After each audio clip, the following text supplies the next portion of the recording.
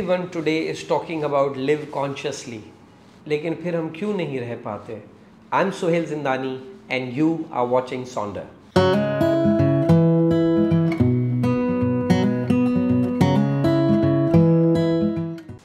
living consciously I think this is something that is gaining a lot of momentum इसके ऊपर बहुत सारी conversation हो रही होती है।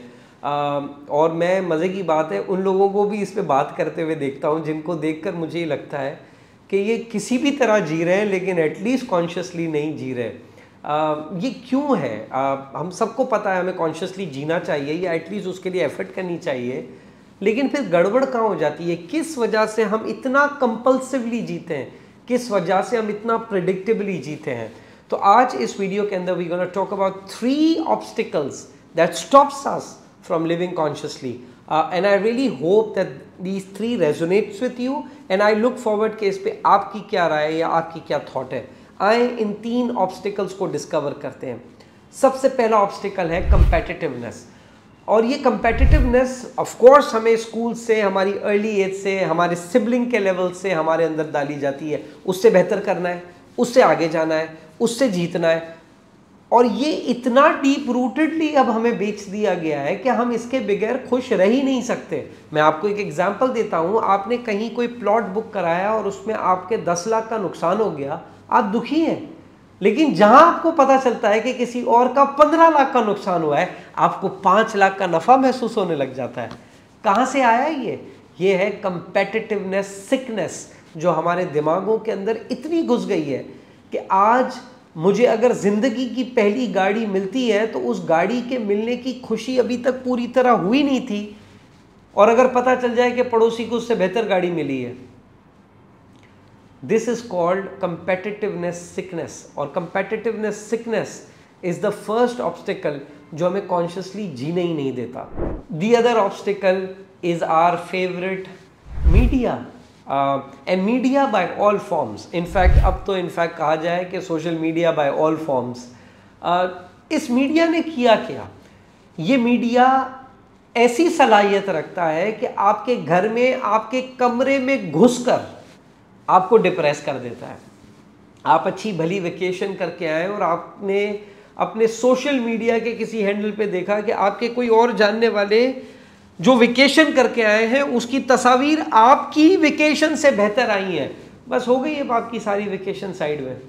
What a sadness what a what what a misery it is but इस मीडिया ने हमें ऑल दो इस नाम पर बेचा गया था कि it's good to be informed it's not being informed it's now being compulsively obsessed with what others are doing, rooted into the same competitiveness, sickness, but the channel this time is media.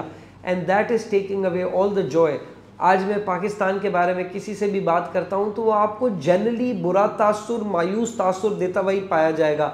और आप ज़रा उसका bank balance देखें तो उस bank balance में कहीं से भी मायूसी की कोई झलक नहीं होगी। लेकिन मायूसी पूरी स्पीड से फैला रहा होगा। क्यों? क्योंकि वो कॉन्शियसली नहीं कर रहा कंपल्सिवली कर रहा है, क्योंकि जब भी वो टीवी खोलता है, जब भी वो ट्विटर देखता है, उसको कोई ना कोई दुख की खबर बताई जाती है और हमें बड़ी खुशी होती है दुख की खबर शेयर करने में। आप देख लेना क्यों फजूल किस्म के प्रोग्राम्स की टीआरपी ज़्यादा होती है? क्योंकि लोगों को इस तरह की मनहूस चीज़ें शेयर करने में बहुत खुशी होती है।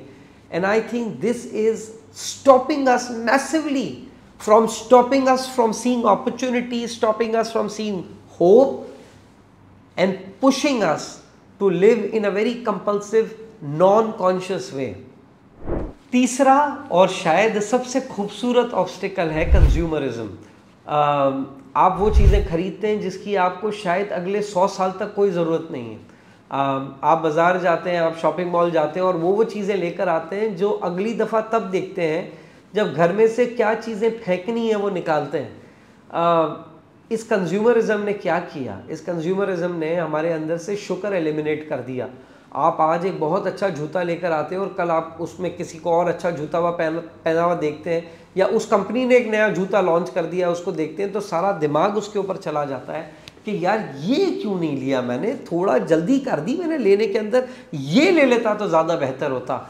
कंज्यूमरिज्म की ख्वाहिश ही है कि आप जो दो जीन्स में गुजारा कर सकते थे, अब आपके पास कम से कम तीस हो। जिन दो जूतों या तीन जूतों के साथ आप रह सकते थे उसमें अब आपके पास बीस और अगर नहीं हुए तो आप काफ़ी हद तक दुखी होंगे। आपके पास सबसे बेहतरीन गैजेट होना ज़रूरी है सबसे लेटेस्ट फ़ोन होना ज़रूरी है वरना खुदा ना खास्ता जब आपको अमेरिका का प्रेसिडेंट राय मांगने के लिए फ़ोन करेगा तो उसको कितना दुख होगा कि यार ये तो पुराने वाले मॉडल पे मुझे राय दे रहा है। आ, ये तीन चीज़ों ने कंपेटिटिवनेस उसी के रूट से मीडिया और फिर उसी के रूट से कंज्यूमरिज्म इसने हमें बिल्कुल जिसको हम कहते हैं ना लॉक कर दिया है into a very compulsive cycle हम रोज़ सुबह उठते हैं रोज़ उसी हसल के लिए भागते हैं और फिर सो जाते हैं। आई uh, थिंक हम लोगों को एज ह्यूमंस एक मैसिव पॉज की ज़रूरत है। अनफॉर्चुनेटली वो पॉज हमें रिसेंट हिस्ट्री में मिला तो था लेकिन किसी अच्छी रीज़न की वजह से नहीं मिला था। लेकिन even then you saw the earth healing you saw overall health improving apart from the disease it had but in general those who were not getting into that disease everything was improving. The joint docs was getting better. Why?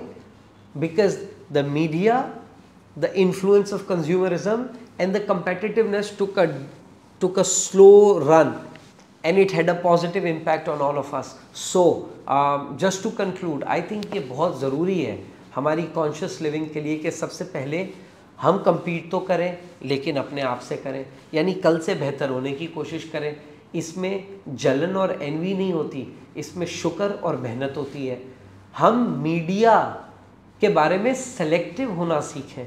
हम ये देखना सीखें कि जो राय दे रहा है, वो राय कहीं उसके इंटरेस्ट की तो राय नहीं है, क्योंकि अगर वो उसके इंटरेस्ट की या उसके कॉज की या उसके प्रोपोगेंडा की या उसके कल्ट की राय है तो वो फिर उसकी राय है और उस राय को आप क्यों बाय करते हैं?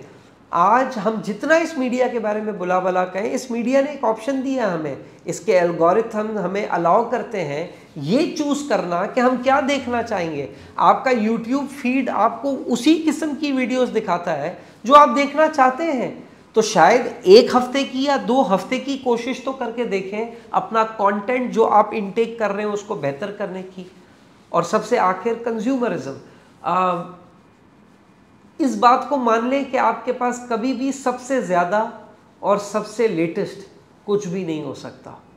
कभी भी नहीं हो सकता।